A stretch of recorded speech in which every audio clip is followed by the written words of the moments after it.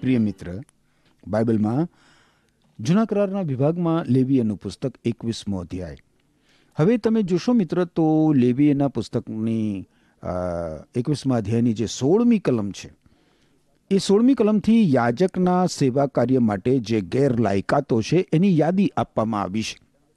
એમાં અંધાપાનો, લંગડાપણાનો ચપટા નાકનો અધિકાંગીનો, ઠૂંઠાપણાનો, ઠીંગણાપણાનો અંગ ભંગિતપણાનો ખરજવાનો અને ખુજલી વગેરે ખોડખાપણોનો સમાવેશ થયેલો છે. ખેર, મારી સાથે સાથે તમે સોળથી એકવીસ કલમો જુઓ. લેવીએનું પુસ્તક એકવીસમો અધ્યાય. સોળથી એકવીસ કલમોમાં લખ્યું છે, અને યહોવાએ મૂસાને કહ્યું કે હારૂનને એમ કહે કે, વંશ પરંપરા તારા સંતાનોમાં જે કોઈ ખોડવાળો હોય, તે પોતાના દેવની રોટલી ચઢાવવા દેવની વેદી પાસે આવે નહીં. કેમ કે જે કોઈ પુરુષને ખોડ હોય તે વેદીની પાસે આવે નહીં, એટલે આંધળો કે લંગડો માણસ કે બેસી ગયેલા નાકવાળો કે અધિકાંગી કે ખોડ, ખોડો માણસ કે ઠૂંઠો કે ખૂંધો કે ઠીંગણો કે નેત્ર દોષી કે ખરજવાવાળો કે ખુજલીવાળો કે અંગભંગિત. હારૂન યાજકના સંતાનમાં એવી ખોડવાળો કોઈ પણ પુરુષ યહોવાના હોમ યજ્ઞ ચડાવવા પાસે આવે નહીં. તેને ખોડ છે તે પોતાના દેવની રોટલી ચડાવવા પાસે આવે નહીં. હવે આપણને બહુ સ્વાભાવિક રીતે પ્રશ્ન થાય કે આવું બધું શા માટે હોવું જોઈએ? જે રીતે ખોડ ખાપણવાળા પ્રાણીના અર્પણનો નિષેધ હતો ને મિત્ર, એ જ રીતે કોઈ પણ ખોડ ખાપણ ધરાવતા યાજકે મુલાકાત મંડપમાં ઈશ્વરનું સેવા કાર્ય બજાવવાનું નહોતું. કારણ કે અર્પણ અને યાજક બંને પ્રભુ ઈસુ ખ્રિસ્તનું પ્રતિનિધિત્વ કરતા હતા. અને પ્રભુ ઈસુ ખ્રિસ્તના વ્યક્તિત્વમાં કે પ્રભુ ઈસુ ખ્રિસ્તના કાર્યમાં કોઈ પણ જાતની ખોડ ખાપણ કે દોષ નહોતો. પ્રભુ ઈસુ ખ્રિસ્ત તો સંપૂર્ણ પ્રમુખ યાજક છે.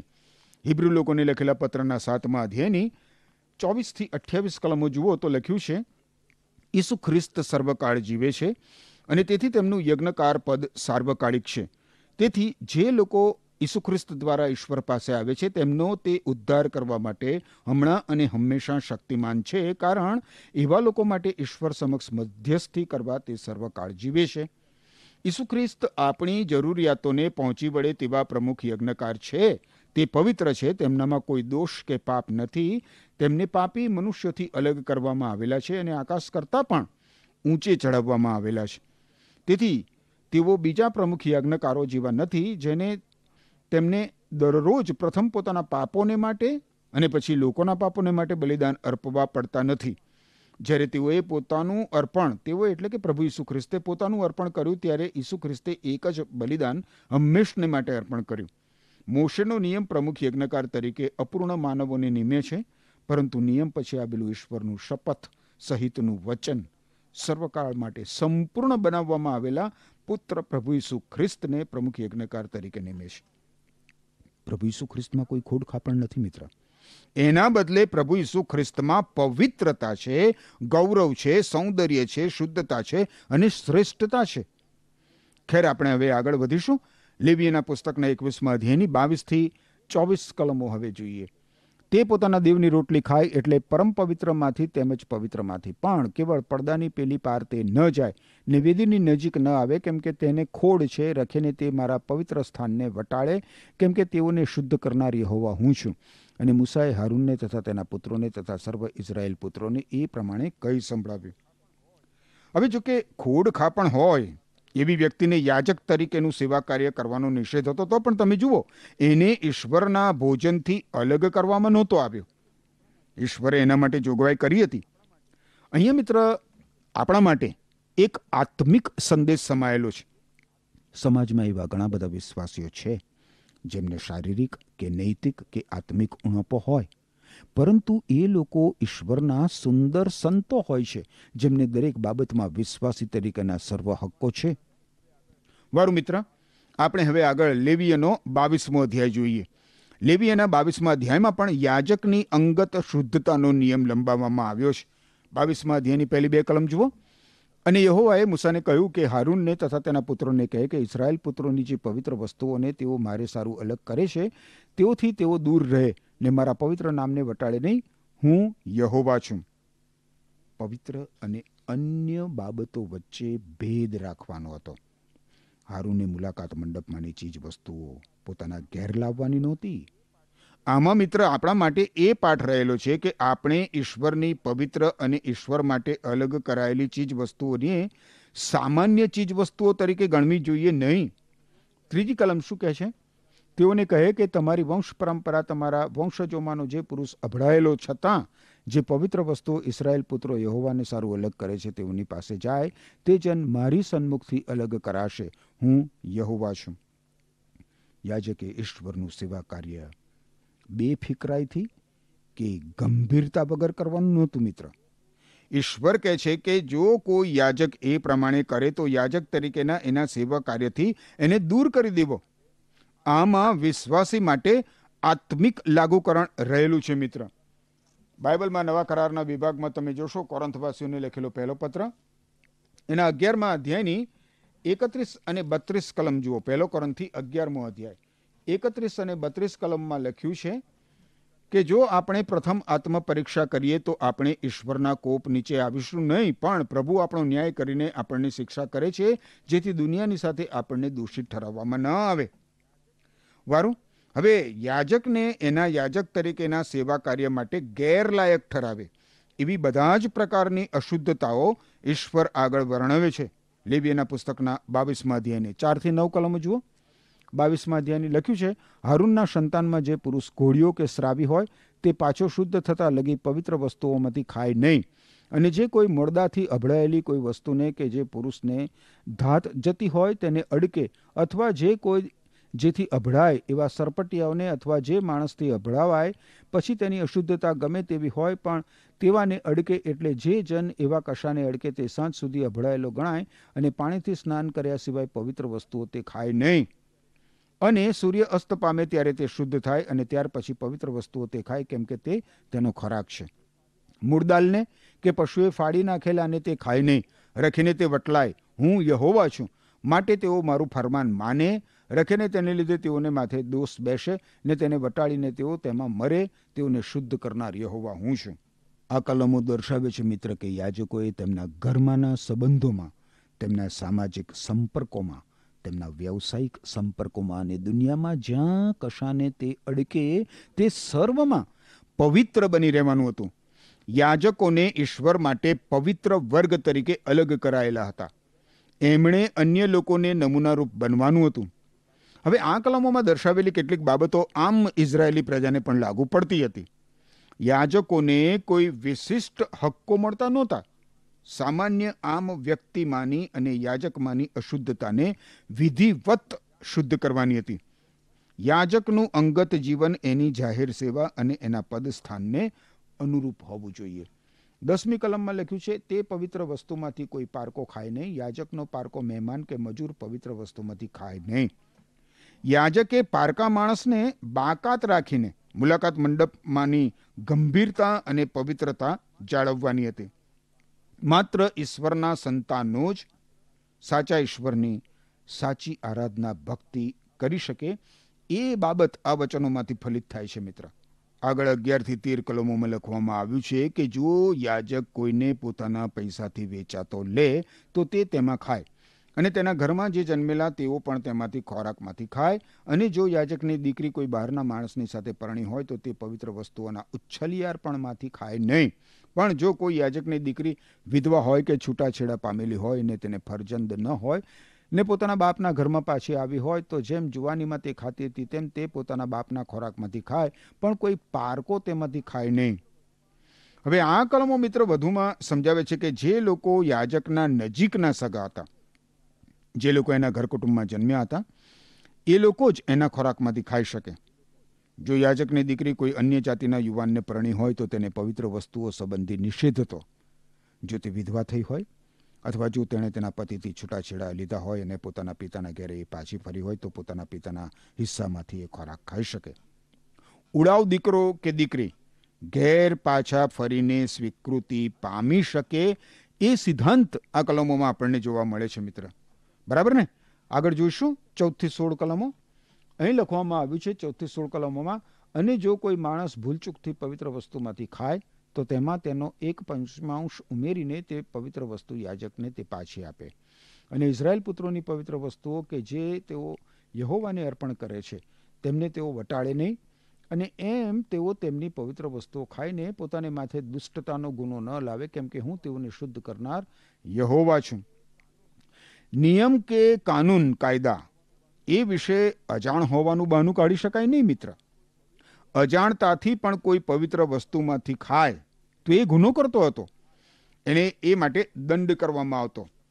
બેફિકરાઈ અને ગંભીરતાની ઉણપ બહારનો અવિશ્વાસી તરત જ પકડી પાડે છે. અને એનું વલણ તથા વર્તણૂક એ એ પ્રમાણે ઘડાય છે.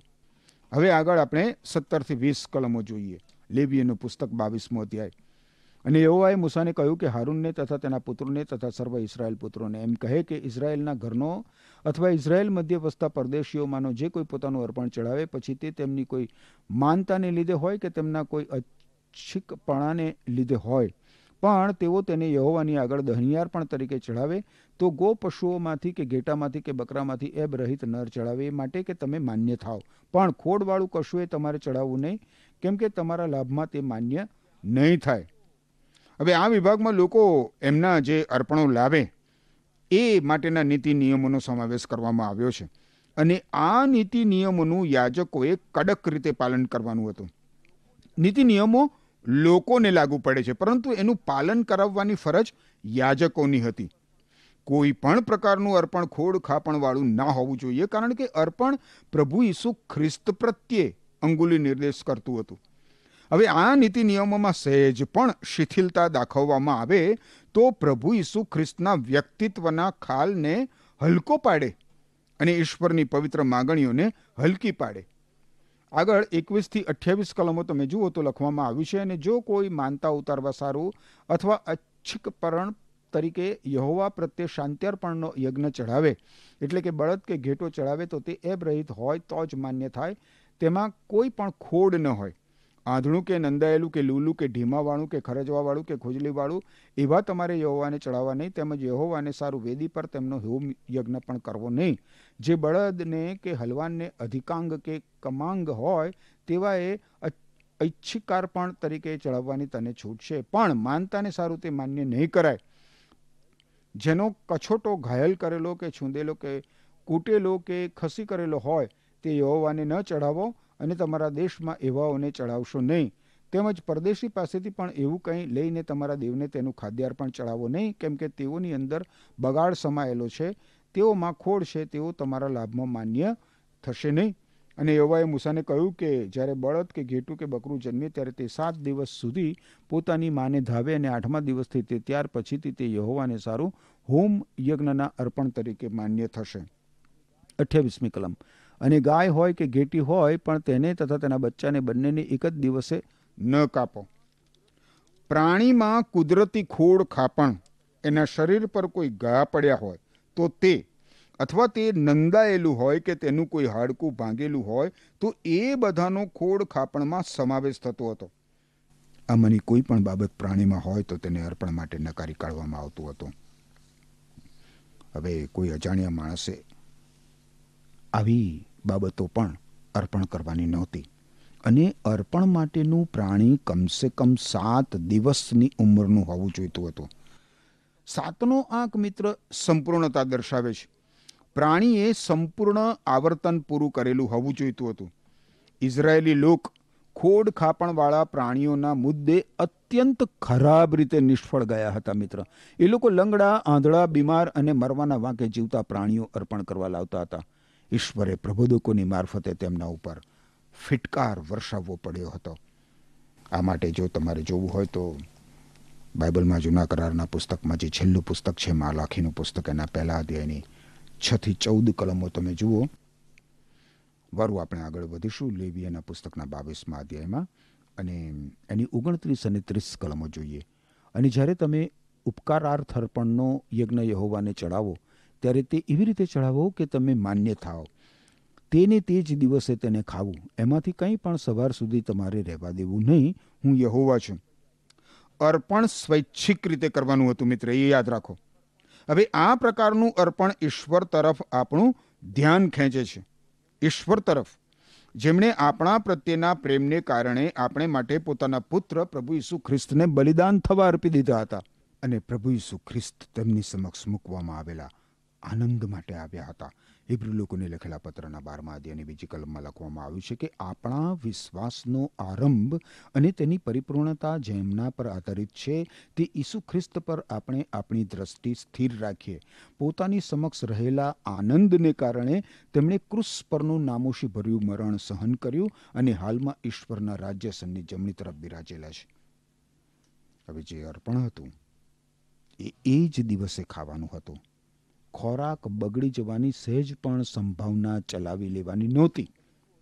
આગળ તમે જુઓ તો એકત્રીસથી તેત્રીસ કલમોમાં લખ્યું છે, એ માટે તમે મારી આજ્ઞાઓ પાળો ને તેઓનો અમલ કરો. હું યહોવા છું અને તમે મારું નામ પવિત્ર નામ વટાળો નહીં. પણ ઇસરાયેલ પુત્રો મધ્યે હું પવિત્ર મનાવ. તમને પવિત્ર કરનાર યહોવા હું છું કે જે તમારો દેવ થવા સારું તમને મિસરમાંથી કાઢો લાવ્યો. હું યહોવા છું. ઇઝરાયેલી લોકોએ ઈશ્વર માટે સાક્ષીરૂપ બનવાનું હતું, મિત્ર. સાક્ષીરૂપ. એમણે એક પ્રજા તરીકે ઈશ્વરની સેવા કરવાની હતી. આ પ્રમાણે તેઓ કરે તો સમગ્ર દુનિયા યરુશાલેમ આવે. આરાધના ભક્તિની પ્રત્યેક ક્રિયામાં ઈશ્વરના પવિત્ર નામનું પ્રતિનિધિત્વ થવું જ જોઈતું હતું, મિત્ર. ઈશ્વરને તેમની આધીનતા માટે પ્રેરણાદાયક કઈ બાબત હતી? આ માટે પાંચ બાબતો આપણા ધ્યાન ઉપર આવે છે. પહેલી બાબત છે, ઈશ્વર કહે છે, હું યહોવા છું. બીજી બાબત છે, ઇઝરાયેલી પ્રજામાં મારું સન્માન થશે. ત્રીજી બાબત છે, હું યહોવા તમારો ઉદ્ધાર કરતા છું. ચોથી બાબત છે, મિસર દેશમાંથી તમને બહાર કાઢી લાવનાર તમારો દેવ યહોવા હું છું. અને પાંચમી બાબત છે, તમારો દેવ હું યહોવા તમારો ઉદ્ધાર કરતા છું. આજે તો મિત્ર વિશ્વાસી માટે પૂરેપૂરી સ્વતંત્રતા છે. પૂરેપૂરી સ્વતંત્રતા. પણ હા, સ્વતંત્રતા એ કોઈ સ્વચ્છંદી જીવન જીવવા માટેનું લાયસન્સ કે પરવાનું નથી મિત્ર. આપણે સર્વ આરાધના ભક્તિમાં ઈશ્વરની પવિત્રતા અને ઈશ્વરનું ન્યાયીપણું ઉત્સાહપૂર્વક અને નિષ્ઠાપૂર્વક જાળવવું જોઈએ. ઈશ્વર કહે છે કે મિસર દેશમાંથી તમને બહાર કાઢી લાવનાર તમારો દેવ યહોવા હું છું. અને આ શું બતાવે છે? આ બતાવે છે મિત્ર કે ઈશ્વરે તમારો ઉદ્ધાર કર્યો છે. ઈશ્વર તેમની કૃપાથી આપણો ઉદ્ધાર કરે છે. ઈશ્વરે આપણી પાસેથી કોઈ પ્રશંસનીય કામ કઢાવવા માટે આપણો ઉદ્ધાર નથી કર્યો. યાદ રાખજો. અરે જો એવું જ હોત ને, તો પછી એ ઈશ્વરની કૃપા જ કેવી રીતે કહેવાત? કૃપા કોઈ બદલાની અપેક્ષા રાખતી નથી. પરંતુ હું તમને એક પ્રશ્ન પૂછું. તમે ઈશ્વરને પ્રેમ કરો છો મિત્ર? તમે ઈશ્વરની સેવા કરવા માંગો છો? તમે તમારા બાળકની વર્ષગાંઠ વખતે તેને શા માટે કોઈ ભેટ આપો છો? એટલા માટે કે તમે તમારા બાળકને પ્રેમ કરો છો. આ જ પ્રમાણે મિત્ર, સાચો, વિશ્વાસી ઈશ્વરની નિષ્ઠાપૂર્વક સેવા કરશે કારણ કે એ ઈશ્વરને પ્રેમ કરે છે. ઈશ્વર કહે છે કે તમારો ઉદ્ધાર કરતા ઈશ્વર હું છું. જે તમને મિસર દેશમાંથી બહાર કાઢી લાવ્યો એ હું છું. તમારો દેવ યહોવા હું છું. શું સત્ય સનાતન સાચા ઈશ્વર તમારા ઈશ્વર છે, મિત્ર. સત્ય, સનાતન, સાચા ઈશ્વર. જો એ તમારા ઈશ્વર છે, તો તમે તેનું પ્રતિનિધિત્વ કરો. યાદ રાખો મિત્ર, દુનિયાના લોકો તમારું જીવન વાંચે છે. પ્રભુ ઈસુ ખ્રિસ્તનો શુભ સંદેશ પ્રતિદિન એક પ્રકરણ લખાય છે. તમે જે કૃત્ય કરો છો ને, એ દ્વારા. અને તમે જો, જે બોલો છો મિત્ર, એ દ્વારા. તમે જે બોલો છો, એ લોકો વાંચે છે. સાચું કે ખોટું? તો કહો મિત્ર, ઈસુ ખ્રિસ્તનો શુભ સંદેશ તમારા દ્વારા શું છે? આજે આમ સમાજ બાઇબલ વાંચતો નથી, પણ લોકો તમને અને મને વાંચે છે. તમારામાં લોકો શું વાંચે છે મિત્ર? મારા પ્રશ્ન ઉપર કૃપા કરીને વિચાર કરજો કે તમારા જીવનમાંથી લોકો શું વાંચે છે. આ પ્રશ્ન ઉપર વિચાર કરવા માટે ઈશ્વર તમને કૃપા આપો. આમેન.